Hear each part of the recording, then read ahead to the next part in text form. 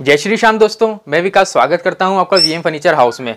तो दोस्तों, मेरे पास काफ़ी ज़्यादा कमेंट आए थे दोस्तों, जो हमारी स्लाइडिंग वार्ड्रोप होती है, ठीक है, कि उसकी चैनल का साइज़ क्या होता है, जो हमारे डोर होते हैं, वो किस साइज़ के कट करे जाते हैं, उसकी फिटिंग कैसे होती है, ठीक है। तो दोस्तों, उसकी complete chart part chart part में आपको वीडियो मिलेगी, ठीक है चार्ट पार्ट इसके बनाऊँगा, उसमें कंप्लीट डिटेल आपको देंगे। तो दोस्तों, आज की वीडियो में मैं आपको बताऊँगा हमारी जो स्लाइडिंग चैनल होती है, चाहे वो डबल डोर की हो, चाहे थ्री डोर की हो, उस चैनल का साइज़ क्या रहता है। तो दोस्तों, चलिए बताते हैं।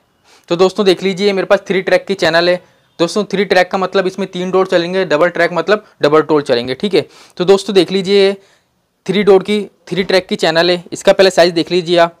दोस्तों ये साढ़े तीन इंची की है, ठीक है? लेकिन जब आप वार्ड्रोप बनाते हैं तो आपको उसमें जो साइज़ छोड़ना है, वो चार इंची छोड़ना है, ठीक है? चार इंची का आपको साइज़ छोड़ना है, ठीक है? ये दोनों सेम साइज़ की आती हैं, ठीक है? अब दोस्तों सपोज़ करिए करिए आपको double door double door slide करने हैं। ठीक है तो डबल डोर में दोस्तों क्या होगा? डबल डोर में सिर्फ़ ये दो पार्ट हट जाएँगे।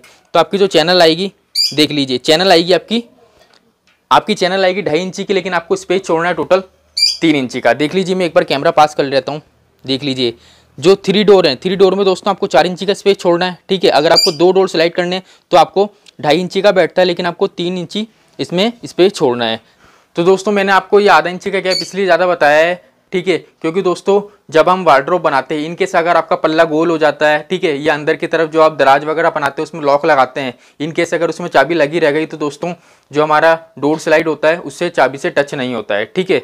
तो दोस्तों चैनल का मैंने आपको साइज़ बता दिया डबल डोर का भी थ्री डोर का भी, ठीक है। अब दोस्तों, जो उसका नेक्स्ट पार्ट बनेगा, उसमें मैं आपको बताऊँगा कि दोस्तों डोर का साइज़ कैसे निकाला जाता है, ठीक है।